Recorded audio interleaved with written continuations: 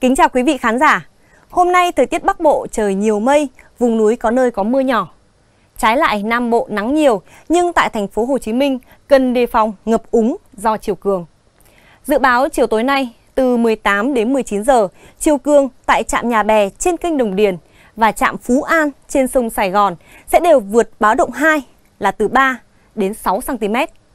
Với mức này có thể gây ngập khoảng 1 phần 3 bánh xe máy. Khu vực dễ ngập là đường Trần Xuân Soạn quận 7 và Huỳnh Tấn Phát thuộc huyện Nhà Bè.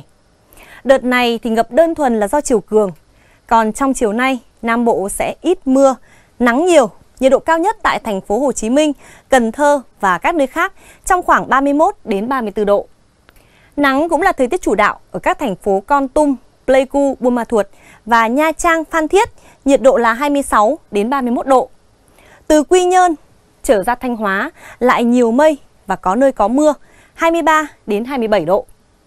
Ở Bắc Bộ, thời tiết chiều nay lại nhiều mây, ở vùng núi có nơi có mưa. Nhiệt độ cao nhất tại thủ đô Hà Nội và các thành phố Hải Phòng, Lạng Sơn, Cao Bằng, Hà Giang, Lào Cai, Điện Biên Phủ, Sơn La trong khoảng 21 đến 24 độ. Chuyển sang thời tiết biển, huyện đảo Hoàng Sa cảnh báo gió mạnh cấp 6, cấp 7, giật cấp 8, cấp 9, sóng cao từ 3 đến 5 mét biển động. Ở huyện đảo Trường Sa, gió Đông Bắc cấp 5, riêng vùng biển phía Tây cấp 6, giật cấp 7, cấp 8 biển động. Kết thúc bản tin sẽ là dự báo cho các thành phố trong chiều và tối nay.